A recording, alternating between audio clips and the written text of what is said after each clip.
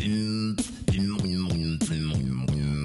リエモンチャンネルこん。にちは、レータカミです。今日は居酒屋ホリエモンチャンネルをやっていきたいと思います。皆さん。こん。ばん。は寺田由紀です堀江さん。髪切りましたねはい。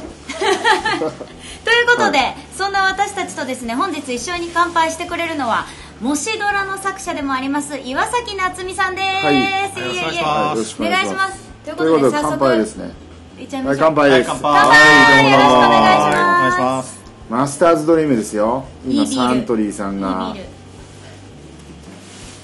でなんと今回です一ね押しの一押し客単価が本日100円上がる。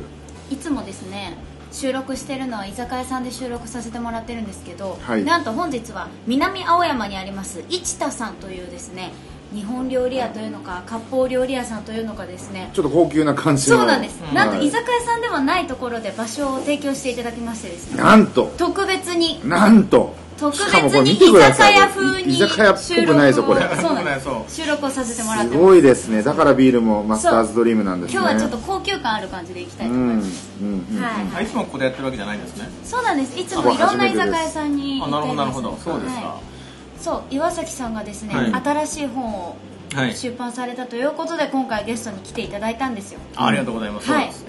もしドラの第もしドラ2弾と言っていいんですか、えそうです。この続編ですね。続編。もしドラ知ってるんですか？もしドラは知ってます。もしドラの正式名称言ってください。もしも高校野球の女子マネージャーがドラッカーのを読んだら。まあまあ大体あった。なお、ドラッカーのはい料理来ました。はい料理来ましたよ。はい料理が来ました。は事。はい。い。マネージメントです。そうだマネジメントだ。そうそうそう、はい、これ見てこれ。わこれ、カニ？の来ました。ありがとうございます。これ。なんとミシュラン一つ星ですよ、これ。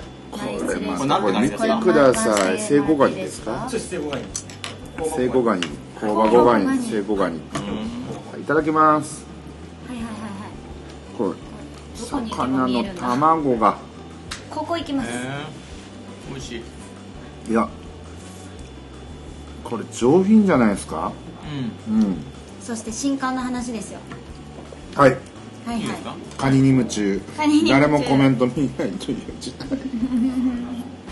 市田さんすごいですね。ここにあの日本酒とかこう垂らしてのね甲羅酒にしたいですね。あもう下からカニ味噌出てきちゃったよ。でもしドラが当たったのでうん。2匹目の土壌を狙っていや。もしのを出しました。というわけではないんですか？そういうわけではないんですよ。あそうなんですか結局ねあのー、2匹目の土壌ってなんかマーケティング的にっていうか、うん。その商売的に見れば、うん。美味しいように見えるんだけども、うん。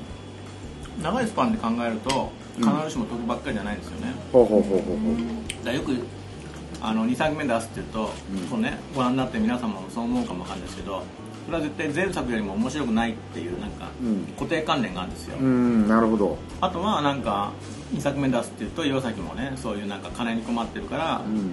2期目の土壌を狙ったのかみたいな、うん。どうしてもネガティブなイメージがついてしまう。うん。だからねむしろ2作目出すことっていうのは逆境って言いますかあはい。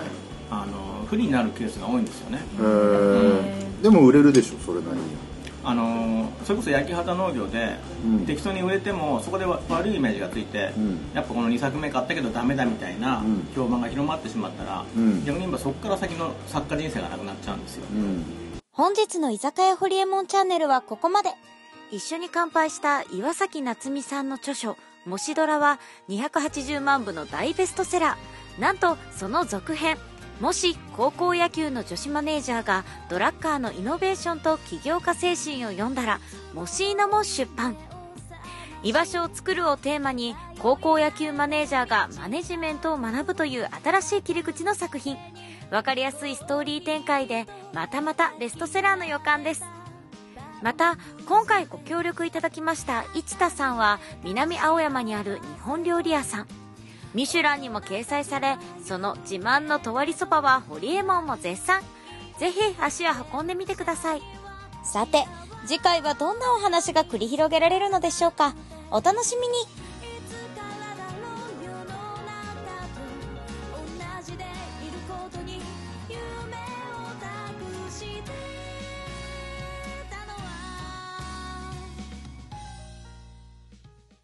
メルマガの登録はこちら YouTube チャンネルもよろしくね。